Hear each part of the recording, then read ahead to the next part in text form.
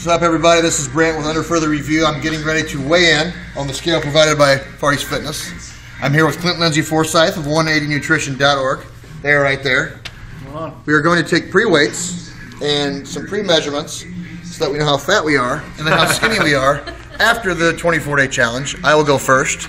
I'm going to assess my weight at approximately 278 pounds. You want to get a side view of that? So now I'm going to I'm going to step on the scale.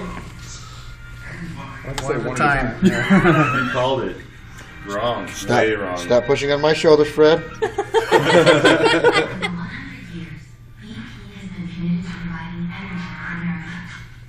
Two seventy-eight point six. It's pretty. You Called it.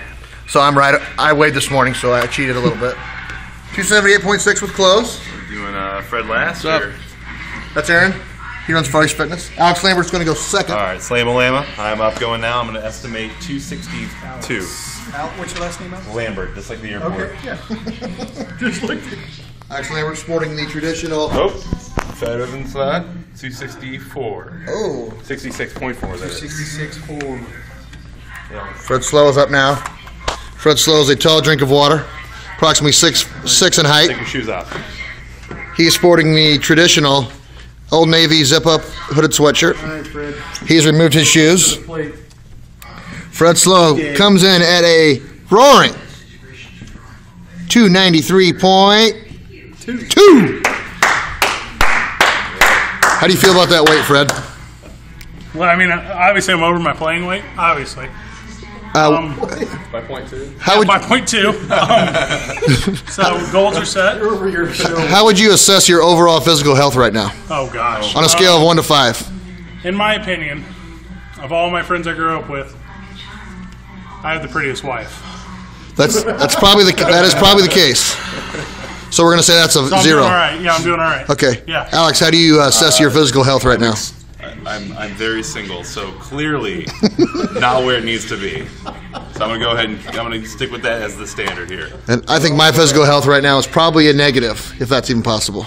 I weighed the Negative most. on the one to five scale. I, it was obvious I weighed the most. You're also the tallest. But I Right, think I'm anyone the who, uh, thinnest one. Check back in, in three weeks. Known four you for uh, weeks. about six years. no offense, the worst I've ever seen you. This is the fattest I've ever been in my life. Don't, Just don't being be honest offended, but it's offensive. I think it's, it's very I said it important with right all now. due respect. We need to get a look at Oh, okay. Clint Fair Forsyth's humongous biceps that he's sporting in his Advocare t-shirt right now. It's a kid small T-shirt. Look at that. He's got good separation right there. Got a good tricep. He's the shave. It's a little long, but Yeah. other than I that, do. I need to shave. Tan- nice shirt. Tanning booth must be broke. I haven't seen a tanning booth in two years. This is his beautiful wife, Lindsay.